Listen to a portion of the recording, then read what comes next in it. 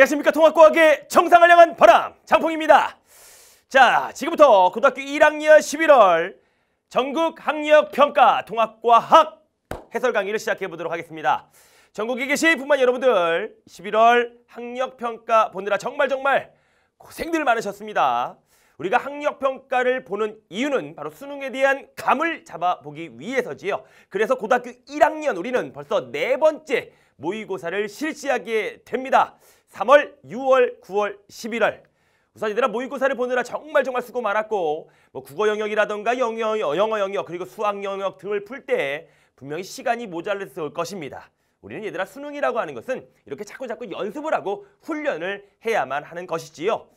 자 지금처럼 이 강의를 보고 있는 풍마이들은 시험을 한번 보고 아, 내가 부족한 점이 무엇인가를 좀 더 파악하기 위해서 지금 해설 강의를 듣고 계실 것입니다. 정말 정말 잘하고 있는 거예요. 왜?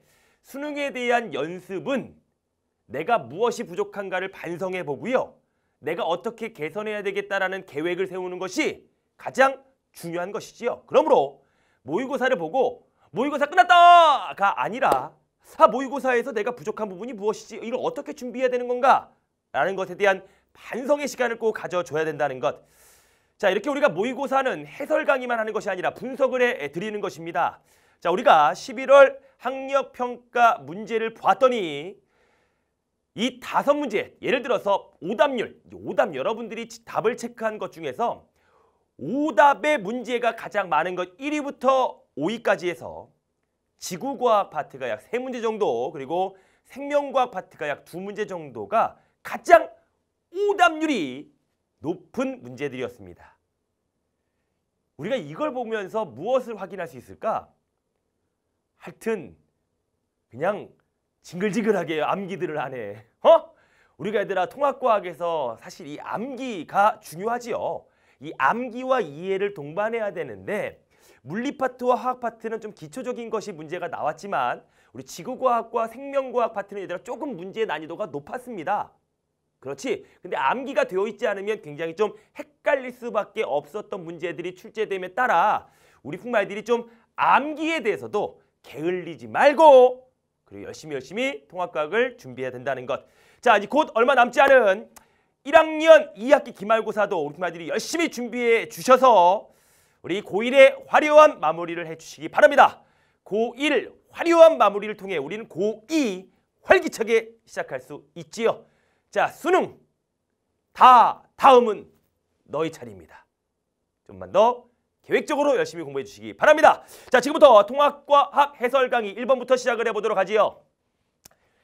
자, 그림가부터 다른 지구 시스템에서 일어나는 다양한 자연현상을 나타낸 것입니다. 자, 지구 시스템에서의 근원적인 에너지, 지구 시스템에서의 에너지원은 크게 세 가지가 있었습니다. 제일 많은 건 무엇이었습니까? 태양 에너지, 다음 지구 복사 에너지, 다음 조력 에너지가 있었지요. 그래서 밀물과 썰물은 조력 에너지, 대기, 대순환은 태양 복사 에너지, 화산 폭발은 바로 지구 내부 에너지입니다.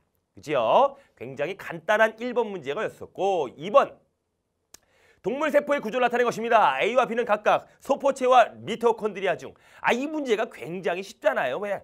미토콘드리아와 소포체 중 하나이다라는 거예요. 그러면 얘들아 누가 봐도 생긴 게 얘들아 미토콘드리아지. 그지? 왜 구불구불구불 크리스타 되니? 얘는요 무엇입니까? 소포체예요. 아주 이 문제를 보니까 얘들아 미소가 지어집니다. 하! 자, 그래서 미토콘드리아와 소포체가 있는데 자, 소포체는 얘들아 소포 말 그대로 배송을 하는 거였습니다. 그죠? 전달을 하는 거였었어요.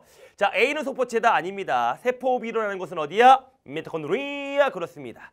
자, 광합성이 일어나는 곳은 엽록체였고요. 그리고 세포호흡이 일어나는 곳은 어디였습니까? 미토콘드리아였고요. A와 B는 식물 세포에도 있습니다. 자, 식물 세포에만 있는 것은 바로 엽록체 세포벽이었죠. 됩니까? 액포도 포함하는 학교도 있습니다. 되니? 답은 디귿.